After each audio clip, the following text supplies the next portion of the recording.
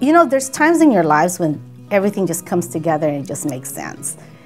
What you go through growing up and then what you've experienced presently, and it, that just all comes together and it just propels you to do what you need to do in the future. Being a school counselor, you can really take off with it. You know, you can really go beyond what happens in that office and really impact the lives of kids and their family and the community. And I think that's where I get my joy from is when I connect with the students and they know that even when I'm being, you know, it's really coming from a place of love for them and a place of concern because it's just it's just awesome to be able to envision uh, what their life could be. Even more so than just teaching students new things and teaching students how the world works, uh, I realized that um, I'm making a difference. Uh, there was one time when know, I kept a student after class uh, for misbehaving, and he told me, thank you. And, you know, I was taken back. Well, whoa, why are you saying thank you? And he thanked me, you know, for always being on top of him, for never letting him down, for always um, asking for the best out of him. And really, he, you know, he didn't have that in his life. He, he didn't have that, that support. And here at school, you know, I, I wasn't letting him off the hook. And, and that's when I realized that, you know, I, I make a difference.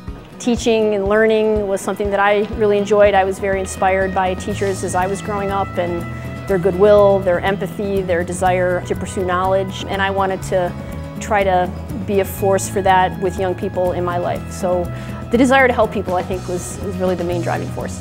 I really am full of gratitude here. What I do for the kids, it comes back a thousandfold. I think that part of the reason we all got into teaching was to make a difference and I actually feel like I'm doing that for the first time. Everything's about the kids. I was a high school dropout. I failed computers when I went back to high school. I know how it is not to get the support to stay in school. I know how it is to, you're not told that you need to go to college. I know how that goes. Uh, my life was supposed to be driving a truck as far as my family was concerned. So since I went above that, I want the kids to do the same thing because I've dealt with these things. You know, I had such a great school experience when I was younger. I had amazing teachers um, that provided, you know, a great learning atmosphere. So I loved being at school. And the more I've learned about my own strengths, um, the more I realize that um, being a teacher, this career just kind of makes sense for me. It's who I am and, and really what I was meant to do.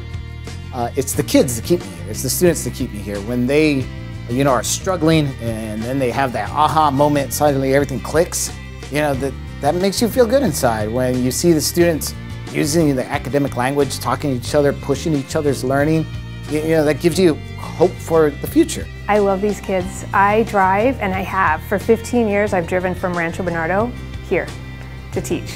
It's a long drive, but I do it because I absolutely love these kids. I teach these kids how to code, and I teach them how to use computers, and I teach them how to build stuff and create, um, and, and I see light bulbs go off, and I, I see them choose paths that they didn't even think were open to them. And that's what keeps me going. Many of our students uh, don't have a consistent role model in their life. So I also try to be that role model that every day I'm a positive person, a safe person that they know that they can come to and rely on uh, to be a positive influence in their life.